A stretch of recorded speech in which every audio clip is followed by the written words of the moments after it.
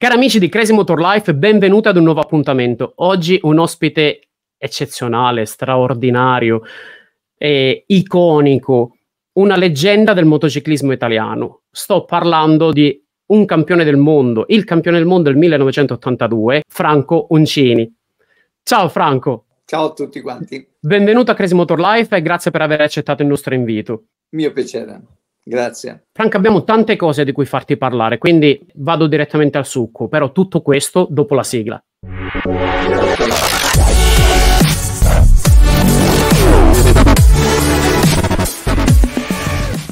Franconcini nasce a Civitanova Marche nel 1955, ma quando nasce il Franconcini motociclista? Eh, quello però non nasce a Civitanova Marche, perché io sono nato a Civitanova Marche, ma non ci ho vissuto tanto. Da Civitanova Marche ho fatto un passaggio a Castelfidardo, poi sono venuto a Recanati all'età di 5 anni e mezzo, 6. Quindi sono nativo di Civitanova, ma recanatese da sempre. E la mia formazione motociclista è nata a 14 anni, anzi a dire il vero anche a 13 anni, perché mio fratello che è più grande di me di due anni, quando aveva 14 anni è riuscito a convincere nostro padre a fargli comprare il motorino e da lì, siccome avevamo una band, perché io ero un batterista, mio fratello era un chitarrista, poi a un certo punto mentre così ci divertivamo a fare le prove con questa band, vedo che a un certo punto mio fratello non veniva più. Si era così innamorato di questo motorino che ormai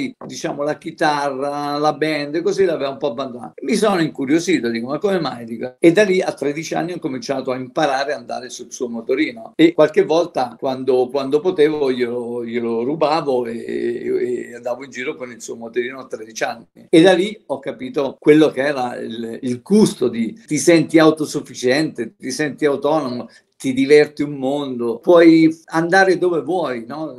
cioè non dipendi più da nessuno. Poi ovviamente mi è piaciuta così tanto che mi, son, mi, mi incominciavo a divertire. Ovviamente da lì poi le preparazioni, no? perché il motorino, non dovrei dirlo, ma da 50 è diventato 60 cm cubi con una preparazione che a quel tempo si chiamava Simonini, con tutto sabbiato, testa e cilindri sabbiati, scarico con le espansioni, i due tempi ovviamente le espansioni, eccetera, per cui da lì sono partito. Ma quella vocina interiore, vediamola come, o angioletto come diavoletto, ognuno la veda come vuole, che ti dice passa alle gare, quando nasce e perché? Questa te la devo raccontare perché è molto carina, quindi mi hai fatto una domanda che vedrai che ti divertirà. Sarà un po' lunga, però te la, te la racconto. Allora, chiaramente cosa succede? Che poi quando tu a 14 anni hai questo motorino, te ne innamori, ma io andavo in giro anche d'inverno, a me freddo non mi interessava, anche se io sono uno che ama molto il caldo, per cui pioveva, nevicava, eh, sempre in giro con il motorino, per cui la passione aumentava sempre di più. Poi, quando ho 15 anni, a un certo punto mi ricordo che trovai su una rivista che, se non sbaglio, era motociclismo di quel tempo, dove c'era una proposta di legge per avere la patente a 15 anni. E io, guarda, ritaglio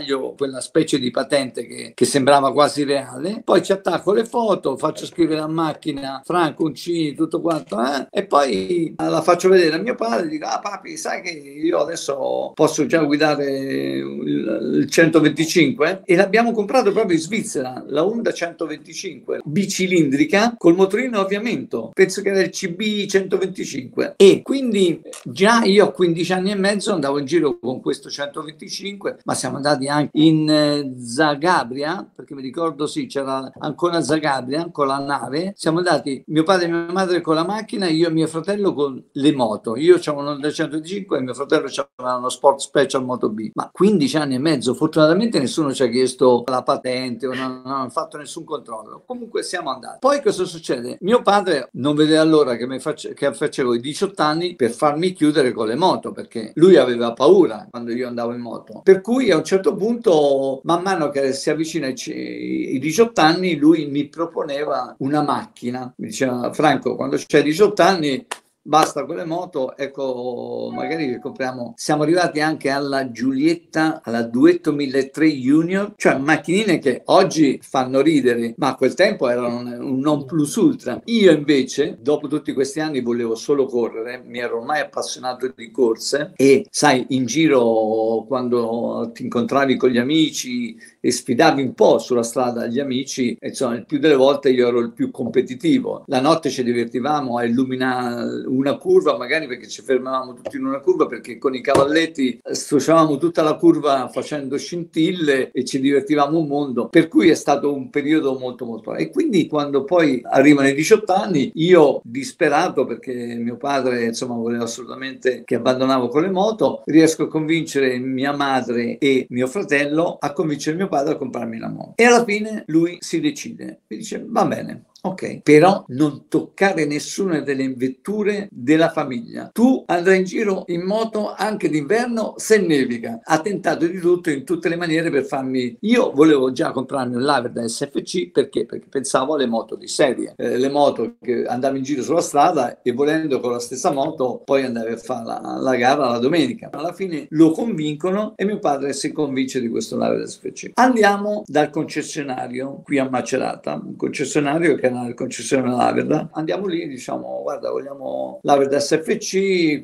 tutto, tutti i dati, tutte le cose. Ok, dice guarda fra una settimana vi chiamo e vi dico se venite qua la venite a vedere o a ritirare quello che sto là. Invece dopo una settimana lui ci chiama e dice guarda dovete venire perché c'è un problema. Porca miseria, che succede? Va bene, andiamo con, con mio padre eh, e dice guarda purtroppo la Laverda ha deciso di fare una nuova versione dell'SFC SFC che uscirà l'anno prossimo, 74. Quindi il modello precedente 72 nel 73 non lo producono più. Mi dispiace, ma non ci producono questo SFC. È appena uscita bellissima la 1003 cilindri. Dice perché non prendi quella? E io che chiaramente ero invece solo per le gare, perché a me mi interessava solo l'SFC per andare a correre, non mi interessava il 1000 per la strada. E incomincio a dire mio padre, ma no, pa, non mi piace perché 1000, eh, guarda, guarda, eh, due posti, invece con l'SFC vado da solo, Insomma, alla fine questo Nardi, al mio rifiuto di cambiare la 750 SFC con la 1000, a un certo punto ha detto vai, io provo ancora. Ha convinto la Narda a creare la mia moto con i pezzi di ricambio che avevano. Tant'è vero che la mia Narda, che è lì in Svizzera e da voi, sono venuto anche a visitarla. Questa Narda SFC, se digiti con quel numero di telaio, non esiste nel registro storico. E da lì però non si poteva parlare di corsa corse perché sennò il passo era troppo grande. Diciamo la nave è arrivata, boh, mi credo più o meno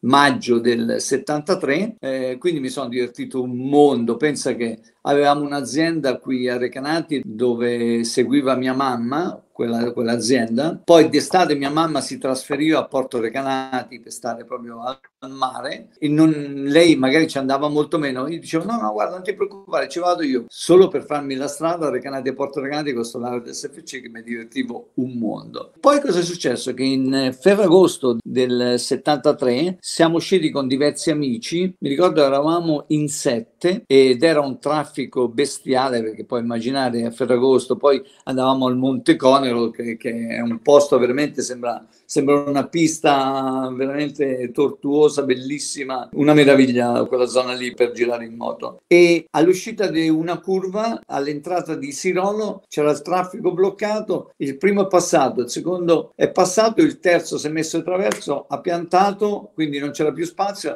e gli altri siamo andati tutti contro e mi hanno portato in ospedale con eh, praticamente un buco qua dietro, dietro il braccio, perdevo sangue così. E da lì ne ho approfittato perché avevo avevo già incontrato Mario Ciamberlini, mio meccanico storico che mi ha, mi ha, sempre seguito, che era uno che andava bene in moto e anzi a suo tempo aveva anche fatto qualche gara. Quando siamo usciti insieme e mi ha visto come andavo, mi ha detto Franco, se ti vuoi bene è meglio che corri, perché così sulla strada è meglio che non ci vai. E allora da lì ormai eravamo partiti, basta, voglio iniziare a correre, voglio iniziare a correre. E allora dopo questo incidente mio padre ha detto, senti, fa, ci ho pensato bene, io ora preferisco girare in moto solo in pista. Non, non voglio fare le gare, eh, per carità, però voglio solo girare in pista. Dico che non c'è nessuno, tutti belli tranquilli. E siamo cominciati ad andare a Misano con Mario Ciamberlini, che è già diventato il mio meccanico già a quel tempo, per cui era lui che mi curava questo SFC e i tempi erano molto promettenti, i tempi che facevo. Poi, tra le tante volte che siamo andati a girare, ho convinto anche mio padre e mia madre a venire a Misano a, a vedermi, no? E poi tu capisci che il sabato e la domenica c'erano solo persone comuni, non è che c'erano piloti fortissimi, no? E, e io ero chiaramente molto più veloce di, di, tutti quanti, quelli che erano lì presenti, e, e mio padre un pochino si è un po' ringalluzzito. Da lì il passo a convincerlo a fare la prima gara non è stato facile, ma alla fine siamo riusciti, sempre con l'aiuto di mia mamma e mio fratello in primis, che poi è quello che mi ha seguito poi per tutto il resto, siamo riusciti a convincerlo a fare una gara, mi ha detto solo una gara. E la prima gara era il 14 aprile 74 a Vallelunga. E pensa che siamo partiti la gara, sono andato addirittura in testa dopo pochi giri e dopo un po' però, poi ti spiego il problema tecnico, il mio freno ha incominciato a cedere, freno anteriore, e quindi il secondo mi ha passato, poi mi ha passato il terzo, insomma alla fine so, sono salito però prima gara della mia vita, terzo sul podio. E praticamente lì mio padre si è un po' addolcito, l'abbiamo, l'abbiamo avuto in mano, ecco, a quel punto lì. Il motivo tecnico che ti raccontavo prima era perché in effetti, siccome nella preparazione della moto io non avevo soldi a disposizione per la preparazione e quando mio, mio meccanico Mario mi disse Franco i freni sono da cambiare, dobbiamo arrivare con i freni nuovi, erano i freni a tamburo su quella vecchia Laver dalla versione 72. A quel tempo il ricambio dei freni Cenanni costava 45.000 lire, ma nel 73 era un'enormità per me. Scoprì che in Ancona c'era uno che ricopriva i ferrodi dei, dei freni con 2000 lire io facevo la, la rigenerazione di tutti i freni. Eh, ho detto, mica sono stupido, eh, faccio questo a 2000 lire e questa è stata, se no magari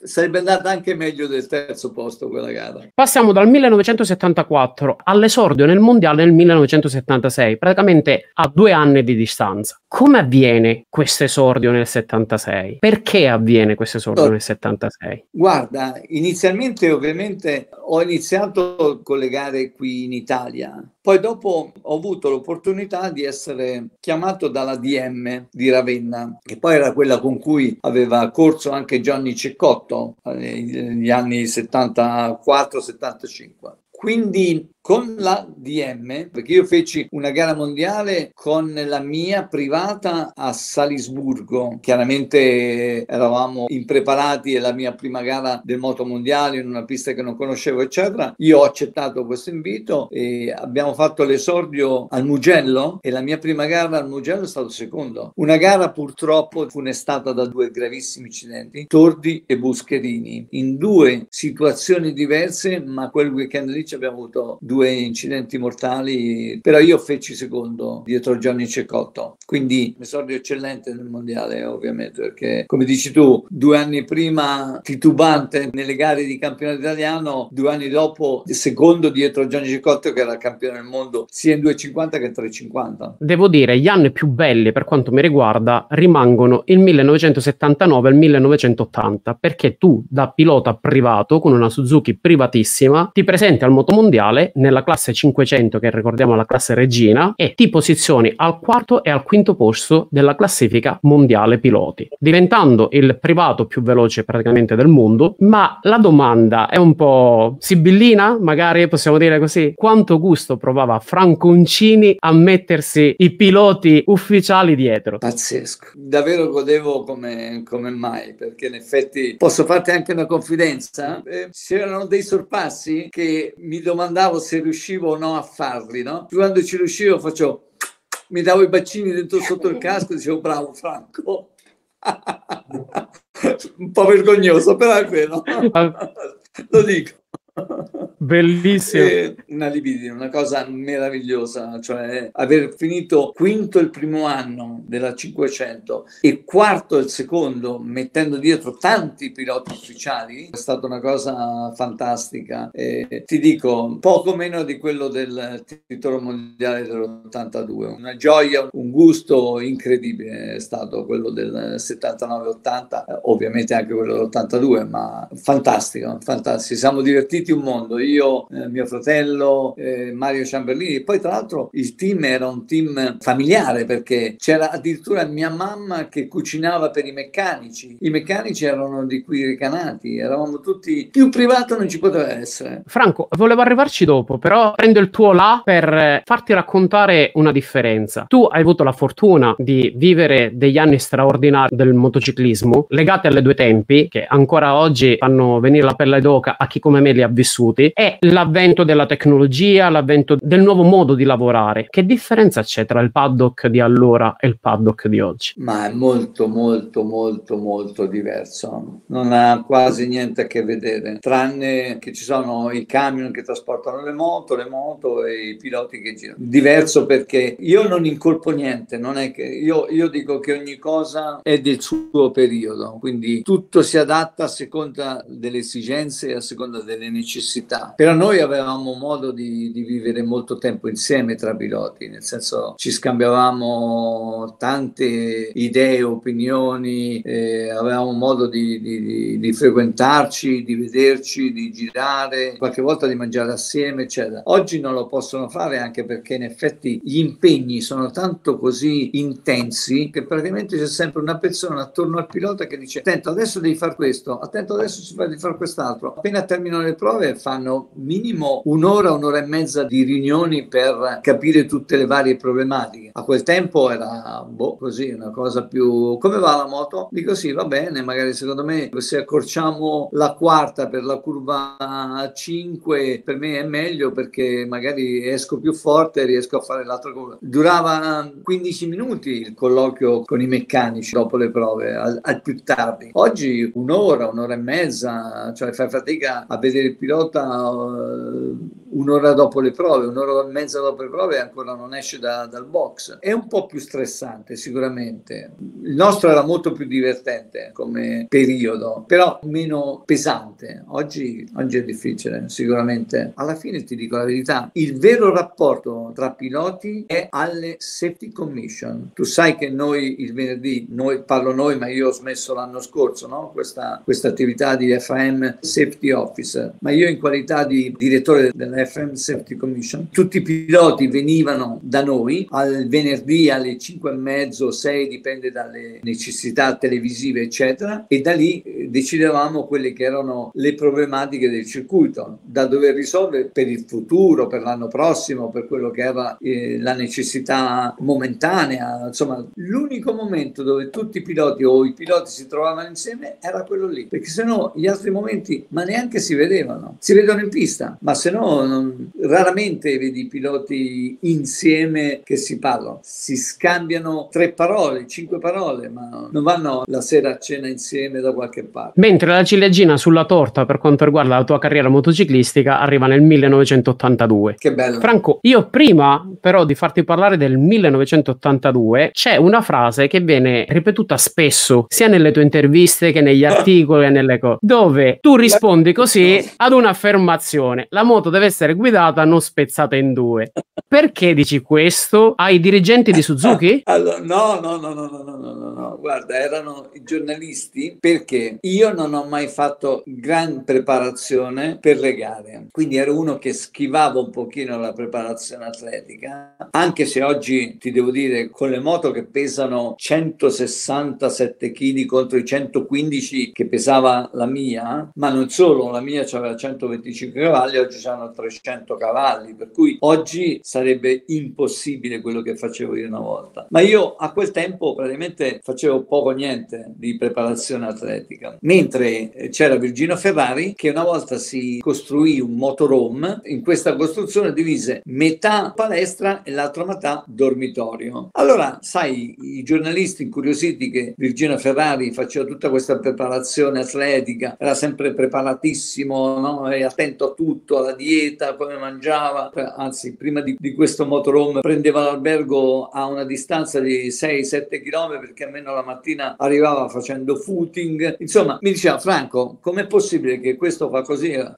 mi è venuto spontaneo. E gli ho detto ma la moto si guida, mica si spezza, non ci vuole tanta forza per rompere la moto e mi è venuta così. Capirai, loro si sono divertiti un mondo. Il giorno dopo sui titoli sulla Gazzetta dello Sport, Corriere dello Sport, è appunto questo titolo qui, la moto deve essere guidata ma non spezzata. Esattamente questo qui. Questo è quello Quindi... che fu il motivo questa frase che ancora dura nel tempo perché ancora me la ricordano. Qualche volta incontro qualcuno nel, nel, nel paddock e dicevo oh, allora quella cosa dico no, oggi no, eh, però oggi è diverso. Oggi sarei io preparato come loro. Quindi possiamo darla come rata corregge. Sì, sì, sì, assolutamente. Che non lo diceste ai dirigenti Suzuki per avere la moto ufficiale. Moto ufficiale che arriva nel 1982 con la quale ti sottolinei semplicemente il tuo valore in campo. Nulla di nuovo sotto il sole, ma Franconcini, avendo una moto e un team alle spalle ufficiale, ne consegue il titolo mondiale. Titolo non mondiale che non sei riuscito a ripetere negli anni, ma a causa dell'incidente o a causa di un passaggio tecnico di Suzuki perché Suzuki l'anno dopo presenta una moto che non, ha, non, era più uguale a quella che vinse i due titoli consecutivi, perché ricordiamoci, nell'81 vinse con Lucchinelli, nell'82 vinse con te. Nell'83 invece presenta una moto che mh, a quanto pare non aveva nulla a che fare con la precedente. Esattamente. Devo fare anche un altro appunto che è storico della Suzuki, perché se guardi la storia della Suzuki, vince nell'81 e stranamente nell'82, tanto è vero che quella moto lì dell'82 non era tanto diversa da quella dell'81 diciamo di base, perché loro rivoluzionano molto, ma se tu guardi la storia 81-82, poi la rivince nel 92, mi sembra, nel Kevin Svans, tra l'altro vinto perché gliel'ha regalato Wayne Rainey, che ci ha avuto l'incidente a Misano, comunque 82, 92, poi 2001 con eh, eh, Kenny Roberts, quindi quasi decennale, perché purtroppo a quel tempo la Suzuki voleva sempre rivoluzionare tutto. Quando aveva qualcosa qualcosa di buono, comunque non gli interessava di continuare su quella linea, ma volevano sperimentare qualcosa di nuovo. Però devo dire un'altra cosa anche a difesa della Suzuki, che avevano un collaudatore che si chiamava Kawasaki ed era fantastico. La moto quando arrivava dal Giappone e la mettevi in pista era un gioiello. La Yamaha, che era in grosse difficoltà agli anni 80, 81 82, a un certo punto è riuscita a soffiare alla Suzuki questo collaudatore e questo collaudatore è andato a lavorare per la Yamaha. Da noi è venuto un nuovo collaudatore. Allora, ti spiego un attimo come funzionano i progetti. La mia Suzuki era XR45.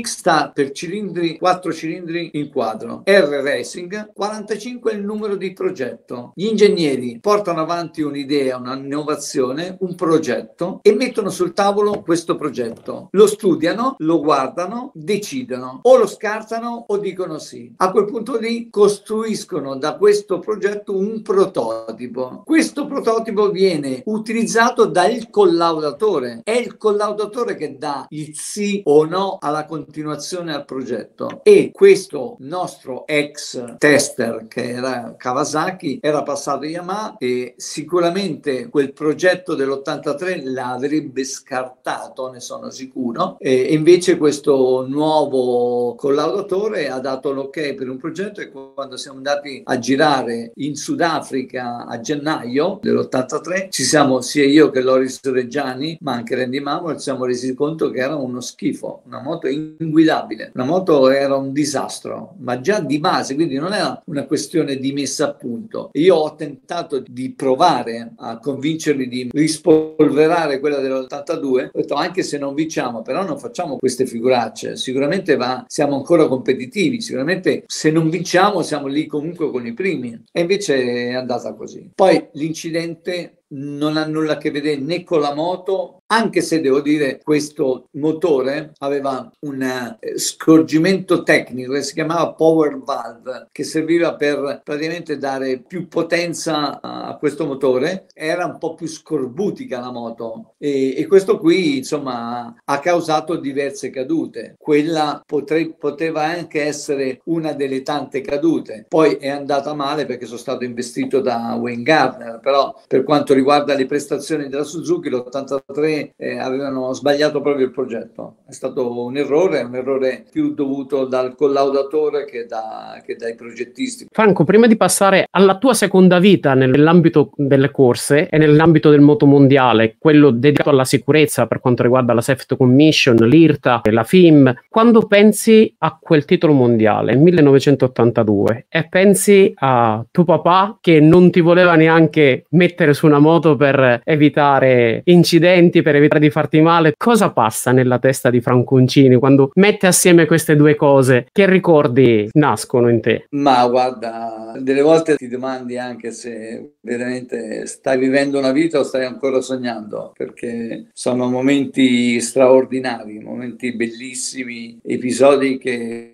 boh, dici, come mai ho avuto così tanta fortuna a vivere questa vita? Perché è una vita meravigliosa quella, quella che io ho vissuto fino, fino ad oggi. Sono molto felice di averla vissuta e anche di potermela ricordare, perché tra l'altro ho avuto anche eh, un'ulteriore fortuna che oltre a quello che non ho avuto gravissimi incidenti sono qui ancora ricordi abbiamo festeggiato i 40 anni del titolo mondiale 82 qui a Recanati ad agosto dell'anno scorso per cui veramente una meraviglia. In tutto questo percorso che abbiamo fatto sino ad ora si sottolinea sempre una parola che racchiude in realtà un mondo. Tu parli sempre di famiglia. Quanto è stato importante sì. averla vicina Molto. Io ho avuto la mia famiglia molto vicina, mio fratello è stato sempre presente, il mio braccio destro, mio padre il mio consigliere, era lui quello che leggeva i contratti, quello che guardava, però non è stato mai invadente, non è stato mai presente, presente fisicamente ma non eh, disturbando. Ho creato una squadra, appunto que- quegli anni di cui parlavamo, 79-80, era un, un, team familiare, un team di famiglia, perché come come dicevo, mio fratello che faceva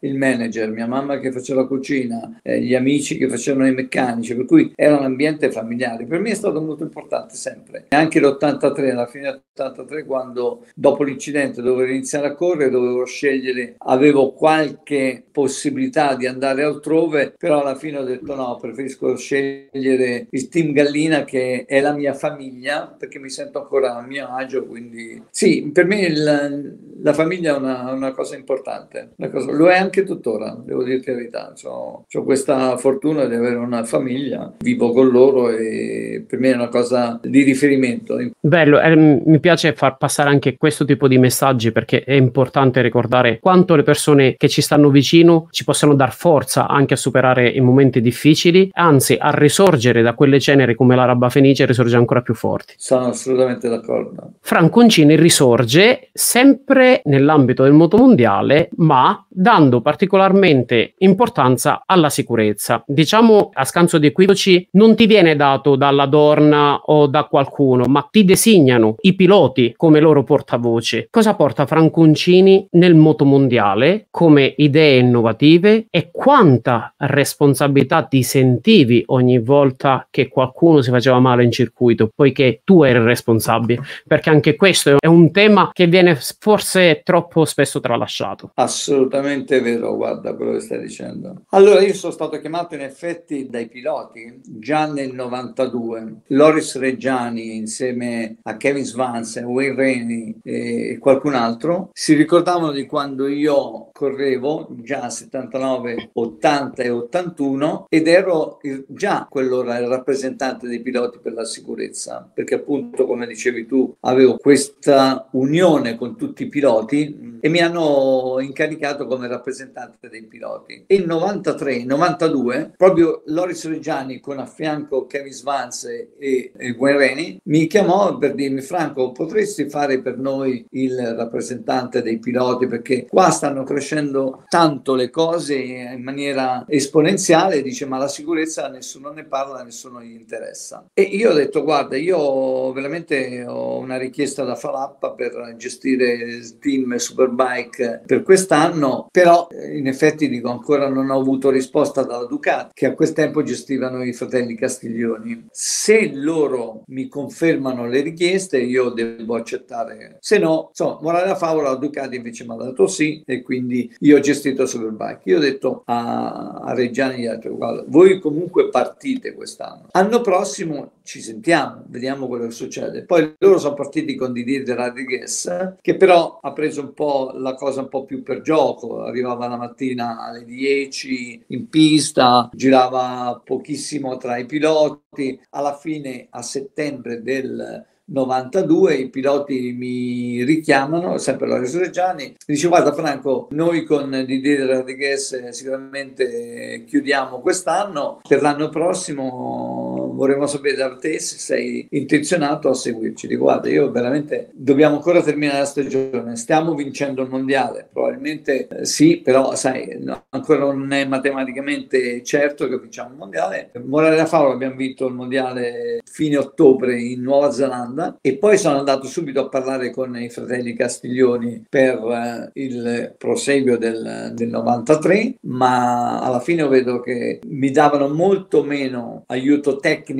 che avevo ricevuto nel 92, allora ho detto guarda, sono stato bene, mi sono divertito, ho fatto un anno in Superbike, ho vinto il mondiale, eh, grazie, arrivederci. Sono sceso in macchina, ho telefonato alla Reggiani e da lì siamo partiti con eh, questa operazione. E quindi io dal 93 sono diventato rappresentante tanti piloti. Poi appena sono entrato, la IRTA, ecco, qui magari ne approfitto perché hai mostrato la foto con Carmelo Espeleta, ma devo dirti che Carmelo Espeleta è stata la persona chiave di tutto questo meccanismo, perché in effetti quando eh, io sono entrato lì eh, come quasi sindacalista, perché alla fine ero il pilota che andava a difendere la voce dei piloti, Carmelo mi disse, ma scusami Franco, ma lavora per noi, lavora al nostro interno ti nominiamo IRTA Rider Safety Delegate e sei all'interno. Dico, ma io guarda, se volete fare questo, parlatene con i piloti. Perché lui ha detto, guarda Franco, che per noi il bene più importante di questo sport sono i piloti. Che tu aiuti i piloti a non farsi male è il nostro obiettivo, è il nostro target. Per cui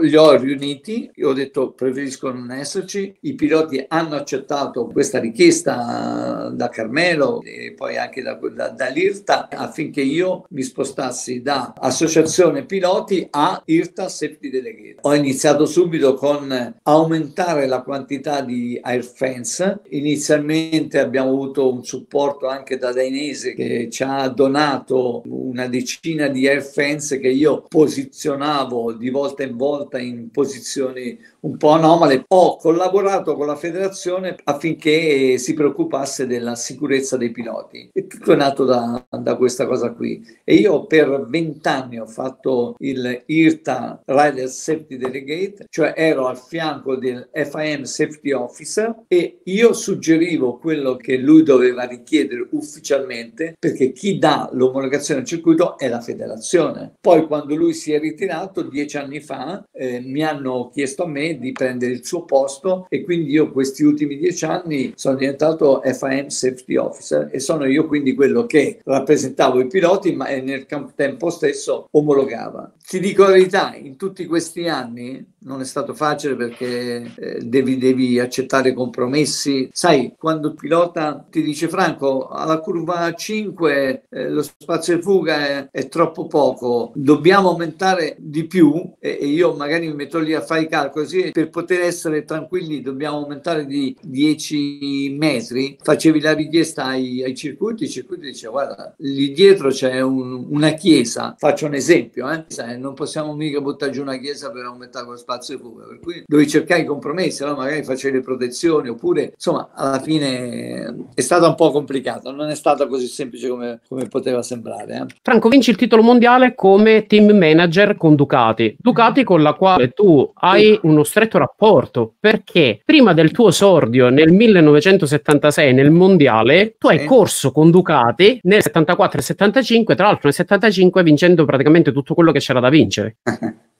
Sì, è vero. Sono stato un uomo Ducati io, oltre che l'Aveta. Certo, l'esordio è stato l'Aveta, ma sono stato un uomo Ducati perché a quel tempo Spaggiari, che era un ex pilota Ducati, mi propose di correre con la Ducati a 750 SS e in effetti abbiamo fatto sette gare, io ne ho vinte cinque. Una mentre ero in testa stupidamente mi sono sbadato, eccetera, e sono caduto. Ed un'altra, devo dire la verità, mi hanno pregato, Spaggiari a quel tempo, di arrivare secondo dietro al mio compagno di squadra, perché io praticamente avevo demolito moralmente il mio compagno di squadra, che era Giulio Sabatini, un ragazzo stupendo, bravissimo e molto forte, perché quando io sono entrato il primo anno con il Laverda, era lui l'uomo da battere, era lui con il numero uno ed era molto molto forte. Poi io con il Ducati mi sono trovato così bene che alla fine questo Sabatini è andato in crisi. E allora Bruno Spaggiari, mi ricordo, mi chiese, guarda Franco, se questa gara qui tu sei primo e lui è secondo, ti faccio un segnale se puoi farlo. E io gli davo valore sì e no. L'ho fatto vincere, ma in effetti devo dirti la verità, mi sento pentito perché, vedi, adesso mi dà fastidio dirti questo e non poterti dire ne ho vinte 6 su 7, uno ha fatto una cappella e sono caduto. Tornassi indietro non lo farei mai. Tant'è vero che poi 77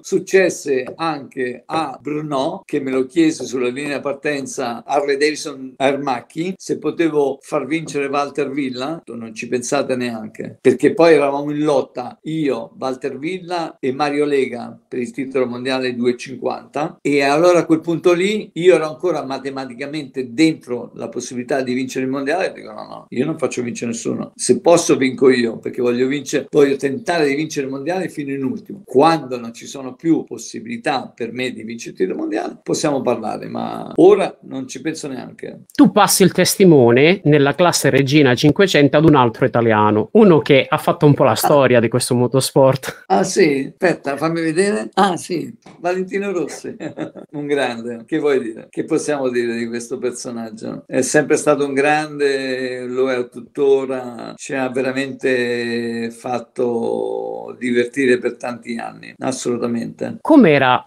entrare in Sept Commission e avere Valentino Rossi che ti fa delle richieste? È una persona che pretende, pretende molto, però sa dove si può arrivare o dove non si può arrivare. Se lì non è possibile, io gli spiegavo i motivi per cui non era possibile farlo, non c'è stato nessun problema, è stato sempre molto elastico nelle cose. Di notte insonni ne ho avute tante, eh? dico la verità. Franconcini nasce nel 55, fa l'esordio nelle gare nel 74, 74-75 vince praticamente tutto quello che può vincere, tutto quello che c'è da vincere, non tutto quello che può vincere. Nel 76 debutta nel mondiale, 79 e 80 gare fantastiche da team privato, 82 arriva il mondiale, poi Safety Commission, IRTA, responsabile FIM, team manager per la Superbike. Oggi Franconcini, come passa le sue giornate? Giornate? Cosa fa? Allora, oggi possiamo dire che chiudo l'anno con 2023, è il primo anno che non sono attivo al 100% come lo ero prima. Ho fatto qualche gara come FIM Stewart Appeal, cioè lo mhm. steward uh-huh. degli appelli